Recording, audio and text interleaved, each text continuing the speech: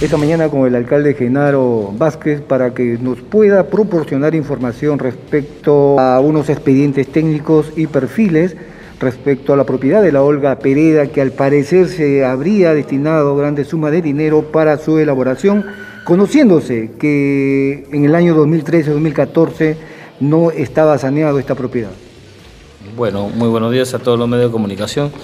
Sí, efectivamente se encuentra, si bien es cierto, haciendo un avance de lo que es este eh, levantando las observaciones con el tema del proceso de Olga Pereda de Noriega para su pronta ejecución. Si bien es cierto la pregunta y la duda queda para todas, eh, no solamente los medios de comunicación, sino también la incógnita hasta con los mismos funcionarios, porque en el año 2013, como usted expresa, eh, hay una supuesta o un supuesto pago o un supuesto expediente ¿no?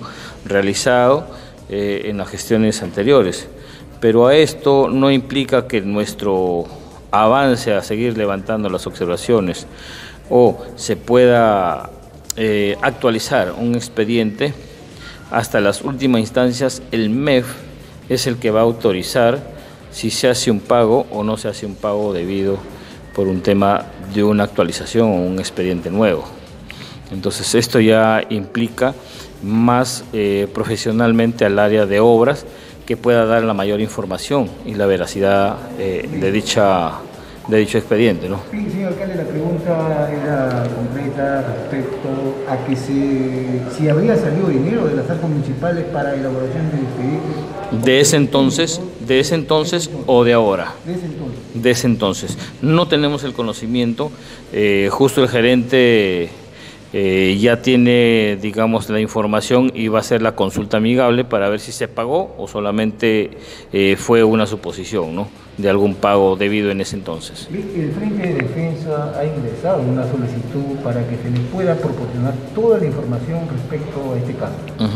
Lejos de poder, este, darle Lejos de nosotros poder darle o no darle una información que están en su derecho eh, al cursar un documento, pero ellos lo pueden hacer ya en la consulta amigable, que es está libre para todo cualquier ciudadano. Entonces, este, si ellos tienen o son conocedores de, ingresar a consulta amigable, lo pueden sacar. Sino que muchas veces el ingresar un documento siempre eh, estilan hacer un pequeño escándalo, ¿no? Un pequeño eh, buscar populismo ante la, población.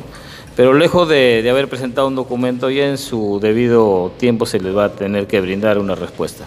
Bien, ¿cuántos años ya han transcurrido, alcalde, y aún es incierto pues que al menos ya se pueda tener luces y eh, estas observaciones han sido levantadas? Porque hasta el año pasado es, el PRONIEL les había observado.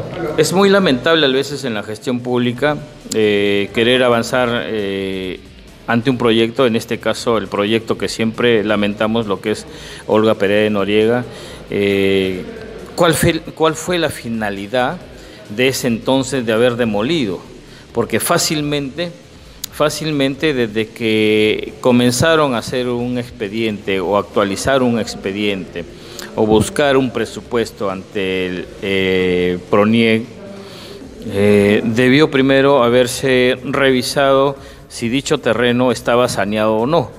Entonces, en el año 2013 que tanto anhelaba, creo que estaba el señor Santiago Cernes entonces, o no lo recuerdo quién estaría, pero bueno, eh, debió primero haberse fijado bien en esto, si es que estaba saneado el terreno o no, y lamentablemente no estuvo saneado. Recién en el año 2017, si mal no recuerdo, o 18, ya para término la gestión del señor Quique del Campo, fue donde se saneó prácticamente este terreno. Entonces, pero lamentablemente también al inicio de dicha gestión eh, del señor Enrique del Campo, eh, a la salida del señor Santiago Serna fue donde yo recuerdo colocó él un cartelón que se construirá. Yo supuse que era un tema político, ¿no? porque se estaba él yendo para la reelección. Y por otro lado, al ganar el señor Quique del Campo, lamentablemente eh, me supongo que debe haber un informe de defensa civil, ¿no? donde decretaba que no era apto para, para el, ingreso de personas porque tenía un alto riesgo. Lamentablemente fue muy apresurada la decisión de demolerlo, porque si se hubiera dejado así tal cual, de repente hasta por reconstrucción, por cambio, se hubiera hecho la gestión y hoy fuera uno del eh, fuera el quinto colegio, digamos así, en ser construido por reconstrucción por cambio. Definitivamente eh, ya hoy en día ya eh, estas observaciones se han subsanado, alcalde. Se están levantando, se viene trabajando, hay un calendario de trabajo constante entre PRONIEC y la municipalidad. Y no solamente nuestra municipalidad, son cientos de municipalidades, pero hay un trabajo coordinado semanalmente. Entonces, cómo se va levantando y cómo se van devolviendo las observaciones para que nuevamente PRONIEC nuevamente devuelva eh, eh, si se levantó las observaciones en su totalidad o siguen siendo observadas. ¿no? Sigue trabajando. sí, sí, y por el momento viene, se viene coordinando el trabajo. ¿no? Directora ha manifestado que todavía no hay una fecha para que ustedes se reúnan, cuándo usted le va a brindar la información requerida, sobre todo porque ella necesita saber este, en qué etapa están y cómo está este avance en Tepronier.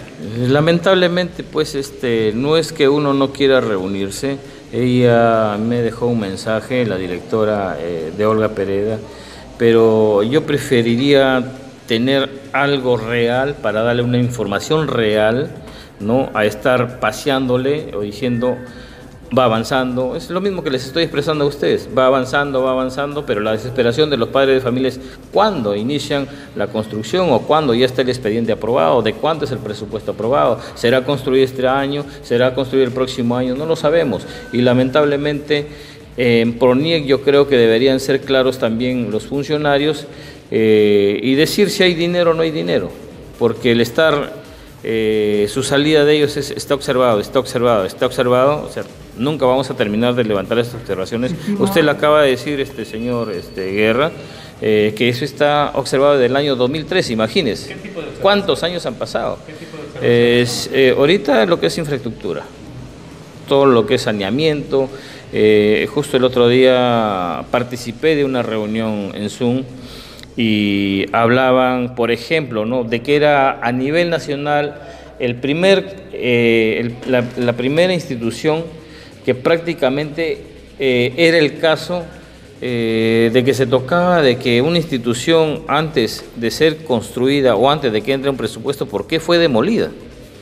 Y yo justamente le, dije, le expliqué más o menos lo que acabo de comentarles a ustedes, porque lógicamente uno iba por la reelección, sacó un cartelón que acá se va a construir pronto, la institución educativa Olga Pereda perdió, el otro que ganó, al toque demolió, entonces eso ha sido el historial. Entonces incluso ellos me pidieron de que haga eh, con el área de defensa civil un informe cómo está eh, eh, prácticamente esa institución, porque ya no habría un pago por demolición.